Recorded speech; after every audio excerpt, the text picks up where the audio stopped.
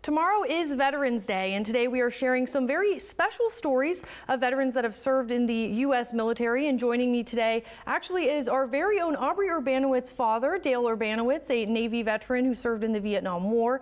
Thank you so much for joining me today. And I know we have a very special guest also joining us virtually, Bill Sheehan. He is the author of Together We Served Stories of Combat Hospital Corpsmen Serving in the Vietnam Jungles. He will be uh, joining us very shortly. But first, Dale, um, I wanted to talk to you personally about um, your service, if you could highlight um, what you did.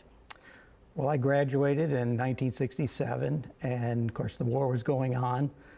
and um, my only option to move forward was to get drafted in the Army and uh, wanted to avoid that. So I joined the Navy. A bunch of my high school mates uh, were doing the same.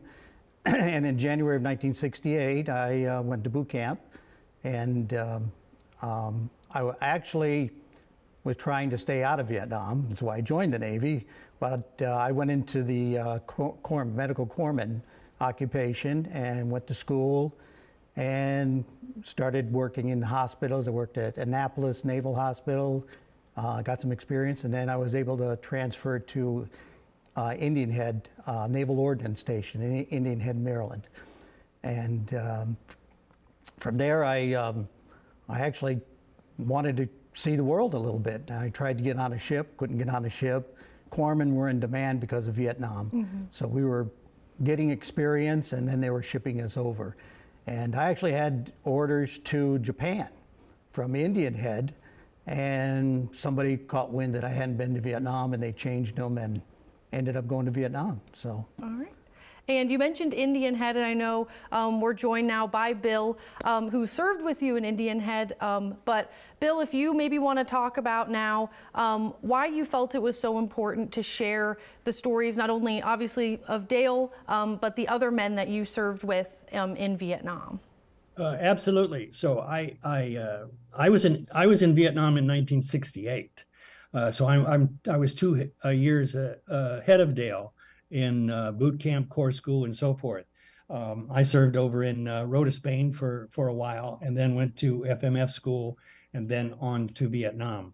So uh, when I was when I returned to the states, I went to Indian Head, Maryland, and that's where I met Dale, and we worked together there for I would guess about a year. Um, I was discharged and then he went on to Vietnam in 1970.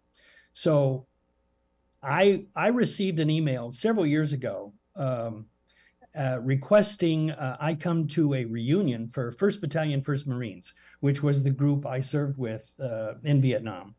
And uh, I, I, started looking at all the uh, names that were uh, we're going to join in the in the reunion, and I saw a lot of familiar names. So I started contacting several of them and I hadn't talked to these guys for over 50 years.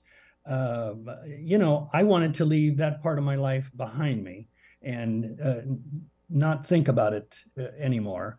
And uh, but I started uh, uh, renewing acquaintances with the some of these guys, and we were all telling the same stories. And they, so many of them said, you know, you have so many stories that you you, you need to write a book.